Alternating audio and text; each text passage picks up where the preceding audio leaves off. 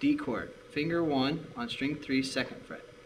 Finger 2 on string 1, second fret. Finger 3 on string 2, third fret. Fourth string is open.